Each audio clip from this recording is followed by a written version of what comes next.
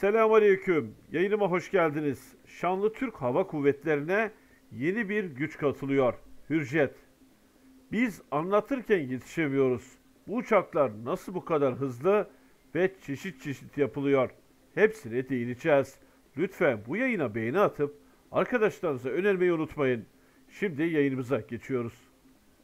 Montajına başlanan F-16'lara bittiğinde eskortluk yani destek yapması muhtemel olan bu uçaklar özellikle Adalar Denizi, Doğu Akdeniz ve çevre ülkelere yapılan terörle mücadele operasyonlarında altın değer kazanacak.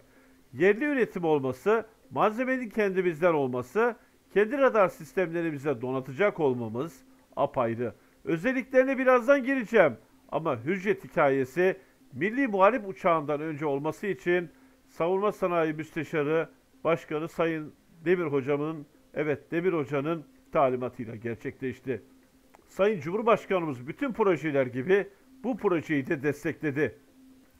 Türk Havacılık ve Uzay Sanayi TUSAŞ Genel Müdürü Temel Kotil, jet eğitimi ve hafif taarruz uçağı Hürjet'in 1-2 ay içerisinde bütünüyle ortaya çıkacağını 18 Mart 2023'te de ilk uçuşunu 2025'ten 25'ten sonra da her ay iki hürjet üretimi hedeflediklerini belirtti. Yani anlayacağımız 2025'te envantere katılacak. Muazzam bir yakınlık. Hava kuvvetlerimize olağanüstü bir güç katacak. Sayın Kotil, Hürjet projesinin geldiği aşama, seri üretim süreci ve Malezya'da kaldıkları ihaleye, evet katıldıkları ihaleye ilişkin bilgiler verdi. Hürjet prototip, prototiplerinin imalatını yaptıklarını, 1-2 ay içinde uçak bütünüyle gösterebileceklerini ifade eden Kotil, 18 Mart 2023'te ilk uçuşu emniyetli şekilde yapılacak. Tünelin ucuna çıkışa geldik dedi. Hürjet için devlet proje açmadan çalışmalara başladıklarını belirterek Milli Muharip Uçak yıllar önce planlandığı zaman aslında önce eğitim uçağı vardı. Hürkuş'un devamı olsun diye Hürjet'i koyduk. Sonra da Milli Muharip Uçak vardı. Niye bir silsile var? Hürjet daha küçük ve daha düşük maliyetli. Daha önce yapılabilir üzerinde öğrendiklerimiz var. İkisi de süpersonik. Yani aynı kategoride. Biri küçük, diğeri büyük. Bunu yapmamızı Savunma Sanayi Başkanımız İsmail Demir söyledi. 2006 yılında göreve başladığımızda ilk konuşmamız buydu. İlk yaptığım Hürjet'in dosyasını yapılan çalışmaları aldım. Yönetim kuruluna gittik. Yönetim kurulumuz destek verdi dedi Sayın Kotil ve Hürjet macerası başladı. Milli Muharip Uçak ekibinin çok hızlı büyüdüğünü ve bin mühendisi geçtiğini anlatan Kotil, bu sayının 3000'e çıkacağını ifade etti. Kotil, Hürjet için bu kadar büyük bir ekibe ihtiyaç olmadığını belirtti. Temel Kotil, Hürkuş'u yapmışız. Hürjet'i bitiriyoruz. Arkasından da Milli Muharip Uçak gelecek. Zaten sıra buydu. Hürjet yoktu süreçte. İsmail Demir Başkanım koyun dedi koyduk. Bu arada Savunma Sanayi İcra Komitesi'nde bizi onore ettiler. Sipariş verildi. Tabii ki sipariş bekliyorduk. Aslında ama 2018'den beri devamlı projeyi öz kaynakla götürmek o kadar kolay olmuyor. İletişim adına da olmuyor. O açıdan bizim için biraz duygusal boyutu da var. Gelin Hürjet'i tanıyalım. Maksimum sürat 1.2 Mach. Yani süpersonik e, hızlar 1.2 ve üstü olan hızlarda geçerlidir. Olağanüstü ve güçlü bir hızlılığa sahip olacağız. Faydalı yük e, kapasitesi 2 ton 721 kilo.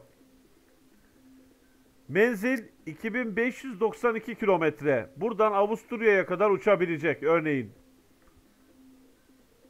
Kasktan evet kaska entegreli gösterge sistemi. Yani AVAX uçağından alınan bir görüntü anında Hürjet'imizin ekranına düşebilecek. Kanat alanı 24 metre. Havada yakıt ikmali kabiliyeti. Gördünüz değil mi? Yani ya, havada yakıt ikmali yaparak yoluna devam edebilecek.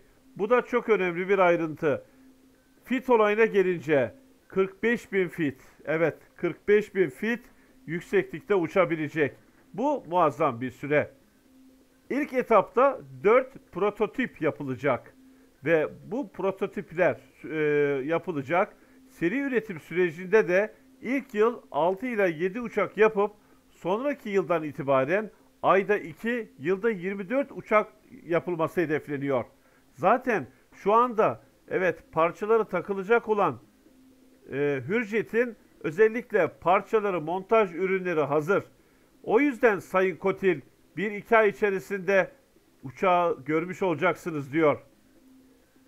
Malezya şu andan itibaren evet Ma- Malezya ihalesi 2025'te teslimat içeriyor.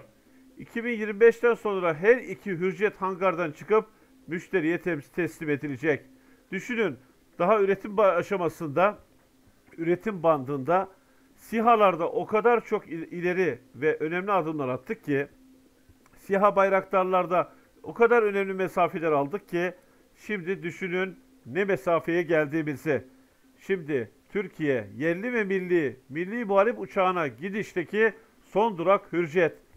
Aslında Hürjet'ten elde edilen deneyimler milli muharip uçak evet yapımında ve onun tamamıyla eğitim, hangardan çıkış, test ve her türlü aksamına hazırlık da Hürjet'te sağlanacak. Hürjet önemli bir enstrüman. Elimizde kuvvet dengesi. F-16'larımıza demin dediğim gibi destek olacak ve birçok operasyonda F-16'ları kullanmayacağız. Hürjet'imiz bize bu konuda destek verecek. Malezya'da bu konuda şanslı.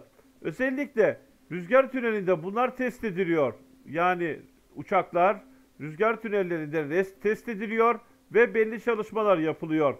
İşte bu çalışmalar daha önceden Hürjet'te yapılacağı için ve test alanlarının özellikle son dönemdeki teknolojiyle donatılacağı için Milli Muharip uçağında evet Milli Muharip uçağında bu test alanlarında hızlıca test edilme imkanı olacak.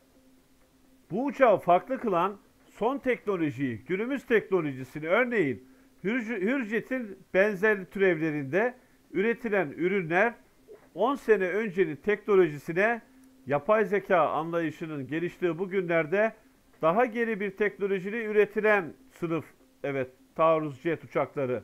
Ama şimdi bizim tasarladığımız Hürjet günümüzün teknolojisi ve üretim bandından evet göklere çıkana kadarki dönemde yenilenen inovatif adımlarla donatılmış bir jet uçağı olacak. Düşünün hele Adalar Denizi yani Ege Denizi'ni diyorum ve oradaki adalar. Doğu Akdeniz, Karadeniz ve özellikle stratejik olarak kullanabileceğimiz her alanda Hürjet bize güç sağlayacak. Yani hem F-16'larımızın kullanım süresi uzayacak hem de milli muharip uçak gelene kadar ayrıyeten bize destek olacak. Bize havada güç katacak. İstikbal göklerdedir. Unutmayalım. Özellikle birçok Müslüman ülkeyi füze ve uçak gücü sayesinde işgal ettiler. Demek ki bağımsızlığın yolu şu anda göklerden geçiyor. Evet, hepinize sağlık ve esenlik dileyerek hürriyetimizin şimdiden hayırlı olmasını diliyorum. İnşallah çok daha güzel günlere ve daha emin günler için, daha güçlü olmak için daha çok çalışmaya. Hoşçakalın.